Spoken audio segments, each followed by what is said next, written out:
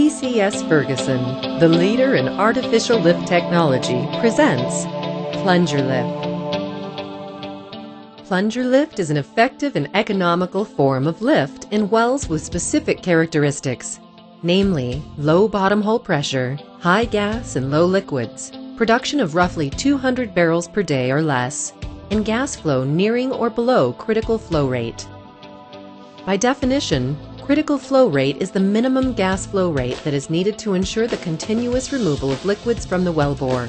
When a well falls below the critical flow rate, the well will begin to load up and will not be able to lift and remove liquids on its own. If left untreated, the accumulated liquids will eventually impose enough back pressure on the formation that the well's production will be severely affected or may stop entirely. Installation of a plunger lift system, ideally before liquid loading occurs, enables consistent liquid removal and stabilized production. By intervening with plunger lift, the operator can ward off the inevitable production losses that occur when the well becomes completely loaded.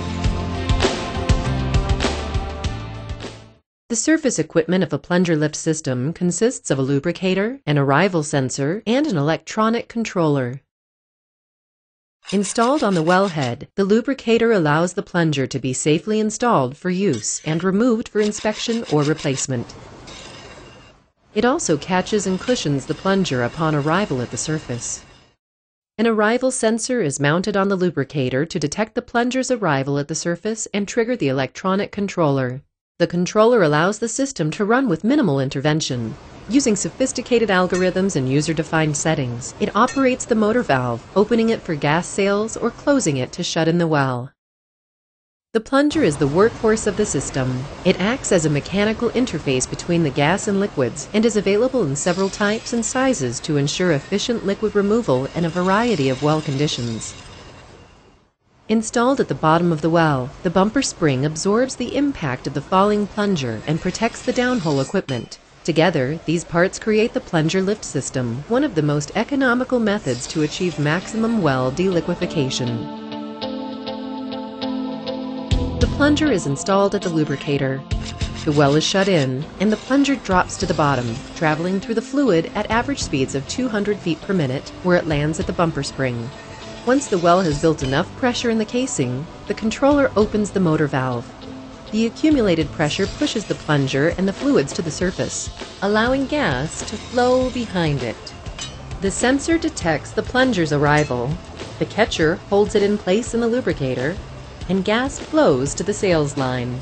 The motor valve remains open based on user settings.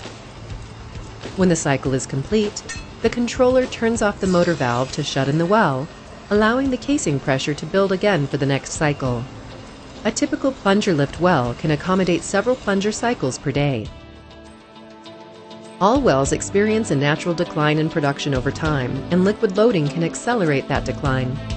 By installing plunger lift before loading occurs, you can maintain or even increase production and because it uses only the well's own energy, plunger lift is extremely cost effective when compared to other forms of artificial lift. If you're looking to optimize production in a well with high liquid to gas ratios, plunger lift may be an excellent choice.